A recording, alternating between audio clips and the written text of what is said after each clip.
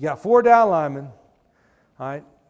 If they got a one three technique over here and a one technique over here, and they got two fives, which what a lot of teams will have in even front, I'd rather run to a one and a five than I would to a three and a five because you got better angles.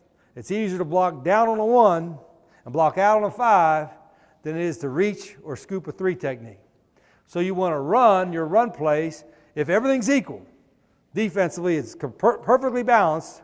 The angles are better to a one than it is to a three.